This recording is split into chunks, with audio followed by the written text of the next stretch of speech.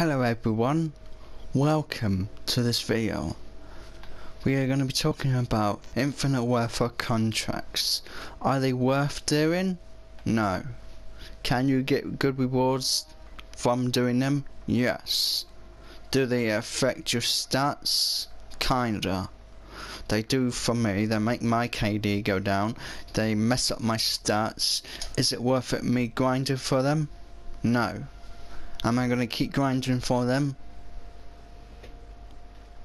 Yes. The reason why I'm going to keep grinding for them is because my stats are already screwed up. Hello. What can I equip you with today?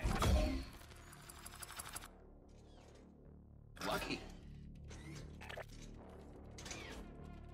Yeah. Drink it all in.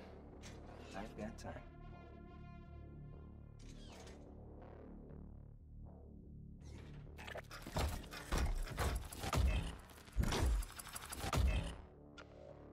top shelf, but it'll get the job done.